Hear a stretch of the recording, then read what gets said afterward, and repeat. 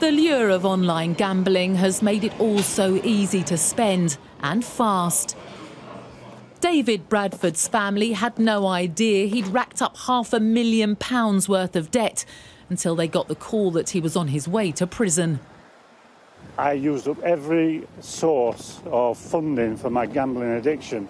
I likened it at the time to being an hamster wheel where you just couldn't get off, but you were pedalling and pedalling faster and faster and just getting sunk into more and more debt.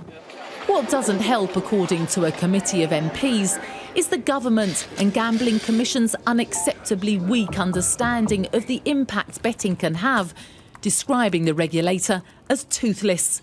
We found a regulator that is too slow to act, it's too weak to identify robust action. It doesn't have any targets to reduce the levels of problem gambling, of which there are 395 thousand people in the UK who are problem gamblers, um, and individuals can't get proper redress.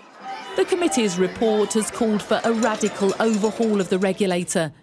It wants a league table of operators naming and shaming poor performers, an urgent review of the Gambling Act, setting out a timetable for that within three months.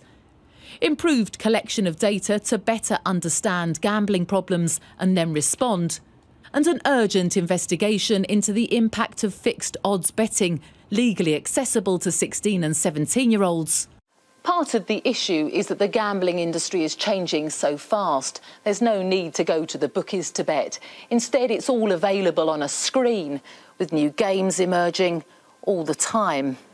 A spokesperson for the Department for Culture, Media and Sport said it was committed to protecting people from gambling related risks, while the regulator said it was determined to deliver faster progress, adding, Over the past two years, we have strengthened player protection measures, tightened the regulation of the online sector, introduced strict age and ID verification checks, brought in a ban on gambling with credit cards, and been tougher through our enforcement activity. David spent eight months in prison. Since then, he and his son have set up the Safer Online Gambling Group to increase awareness of the risks.